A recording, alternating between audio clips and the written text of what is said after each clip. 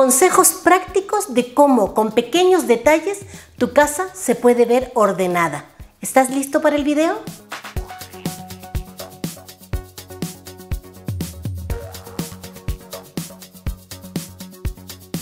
Muchas gracias por darme la oportunidad de entrar en sus hogares. Soy Loreto Benítez, bienvenidos a Loreto Espacios.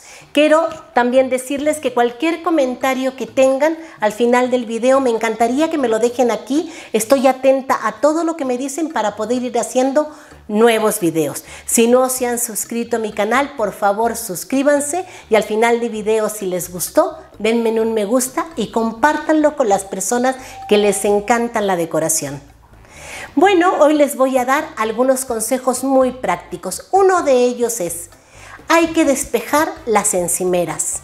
Regularmente cuando llegamos a nuestras casas vamos dejando todo encima de nuestras mesas. La mesa de la entrada, la mesa de centro, arriba de los sillones, todo lo vamos dejando tirado. Entonces, tenemos que tener la precaución de no dejar las cosas regadas por todos lados. Si eres de las personas que llegando a la casa te deshaces de las llaves, el celular, las gafas y todo lo que traes a la mano, pon a la entrada de tu casa un platito, una vasijita, una canasta, algo en lo cual puedas depositar todo lo que tienes. Te va a servir para que no lo pierdas y en segundo, para que se vea totalmente ordenado. También, si eres de los que te despojas de la chaqueta y todo y dejas en el sillón o en alguna silla, opta por dejarlo en un solo lugar y si tienes una percha o un perchero de pie, deposita todo ahí y va a verse todo en su lugar. Otro detalle que regularmente nos afecta en un desorden visual permanente son los libros. Ya les he dicho que los libros no es bueno ya, no se usa tenerlos en la sala, pero si a ti te gusta o no tienes otro lugar, te voy a dar estas dos opciones que tienes para que se vean visualmente como si no estuvieran en tu espacio. Uno, los puedes acomodar de más grandes a más pequeño, ya sea que lo hagas de derecha a izquierda o de izquierda a derecha, da igual, pero sí que lo hagas en forma de escalera. Esto va a hacer que se disimule un poco el que los tienes ahí. Y a mí el que me gusta mucho es hacerlo por colores.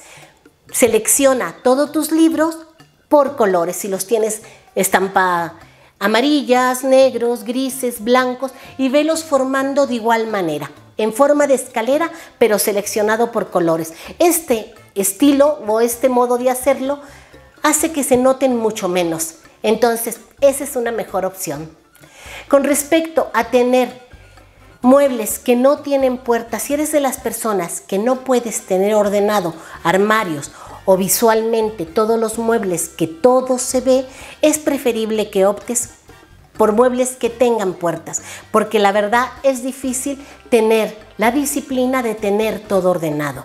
Ahora, si no tienes más que la opción en estos momentos de tener muebles que no tengan puertas, pues tienes que esmerarte en poner los menos detalles posible. Mientras menos cosas tengamos visualmente es mejor. Y si las vas a tener, trata que en cada uno de los espacios no hayan más de tres artículos y trata también que sean del mismo estilo o del mismo material. Esto quiere decir si tienes vela, pues pon tres velas o si tienes portarretratos, pon tres portarretratos y trata de que sean del mismo estilo, o sea, de vidrio o de metal, en fin, pero trata sí de no mezclar colores ni tampoco diseños, que sean más o menos iguales, para que también visualmente se vea ordenado. Pero también es importante, recuerden, no llenar los espacios. Hay que seleccionar para que el desorden visual no haga que tu espacio se vea caótico. Si pones cosas dentro de cajas de las que son transparentes, no importa lo seleccionado que tengas estos artículos.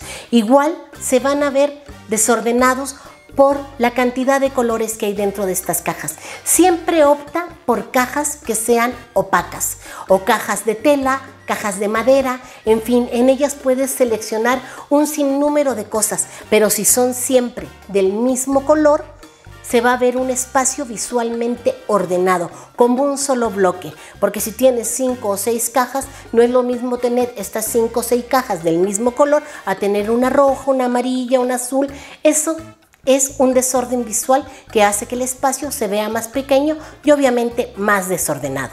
Entonces siempre opta por cajas iguales y del mismo color, ya sean de madera o las que a ti te gusten más. Es importante también otro de los puntos para que visualmente tu espacio se vea ordenado es nuestro armario, nuestro closet.